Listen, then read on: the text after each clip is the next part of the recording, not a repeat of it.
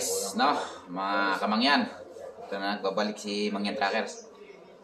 Ayan, so dumating kami ngayon dito sa aming uh, accommodation, no? Accommodation, napakaganda. No? Bagong-bago. Pre-accommodation. Ah, pre din na bagong-bagong unan, bagong kutson. No? Ayan. Siyempre, bagong dating, tawag muna sa mahal sa buhay. Ayan. At yan, sampu kami dumating dito. Ayan lahat mga bagong dating.